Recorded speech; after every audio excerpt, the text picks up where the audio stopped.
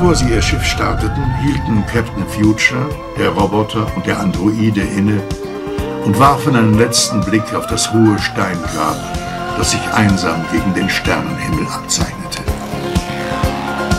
Simon Wright blickte nicht zurück.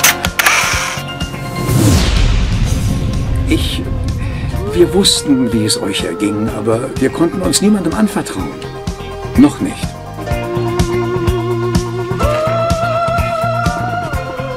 Unsinn. Geh jetzt schon, bitte.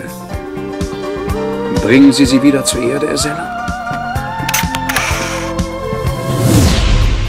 Wir haben es in einer der verlassenen Städte des alten Menschengeschlechts gefunden. Ja, starker Rücken, schwacher Verstand. Sie wollen damit sagen, dass Sie es waren, der die Mechs dazu brachte, nicht mehr zu arbeiten? Deshalb sind die Erzgruben verwaist? Aber warum haben Sie den Diss nicht verlassen? Warum sind Sie hier geblieben? Ah!